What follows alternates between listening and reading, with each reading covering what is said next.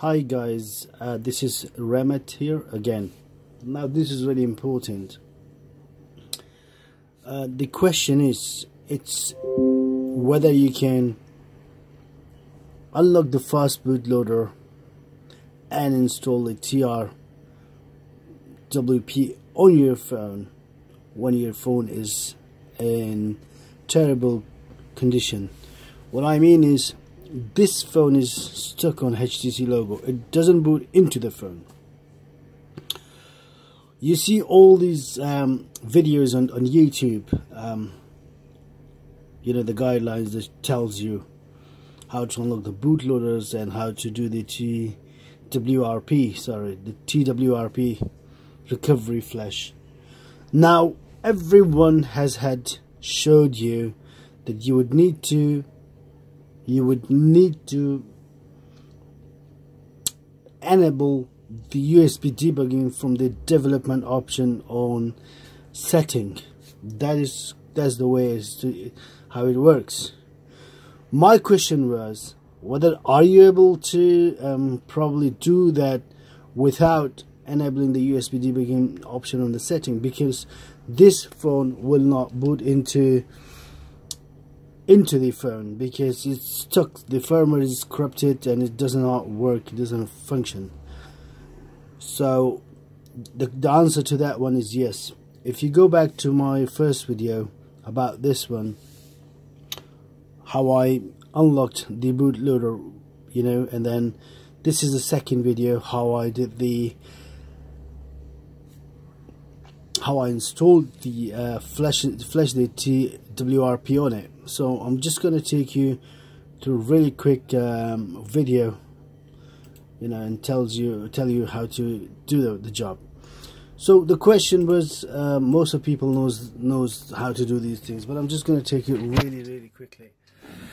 So I've got this folder here which I mentioned in my other video. All this folder will be um, uploaded and will be linked here so you can download them. Now we got a few files here including the TWRP and the SuperSU as well you know. So I came across this one. I have used this uh, software the HTC toolkit for the first option to unlock the bootloader where you go and you know do the unlocking the bootloaders. I've got a video for that one if you just you know look at my videos. And then you know how, how I did that. And once you did once you do that you get out of this here. And, and then you can come back to the second video how to flash the TWRP on this one. So this is the this is the part here. Now if I if I was gonna go and then use this software and then flash the recovery.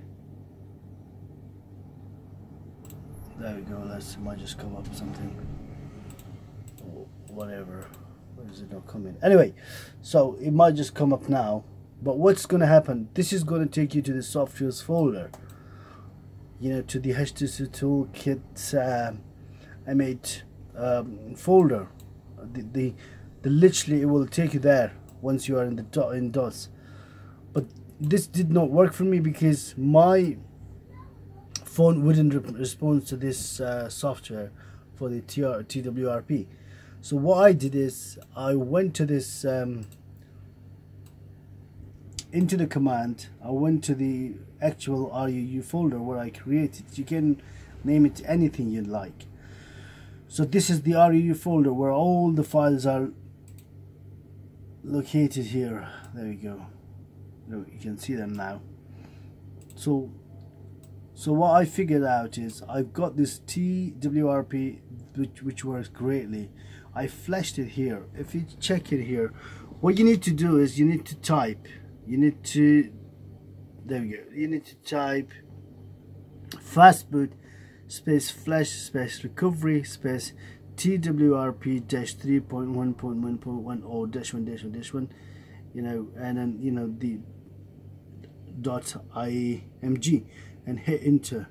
In that case it's going to send recovery to the phone even if your S is uh, S you know S off option is on and finished. And I finally got this done on this phone that I've been working for last uh, 24 hours or more. So um, so even I get the the phone option there now after doing the recovery flash which is a good sign. Um, so we back in here uh, we're gonna like unlock it here.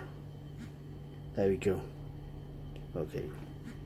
There we go. So we are here now.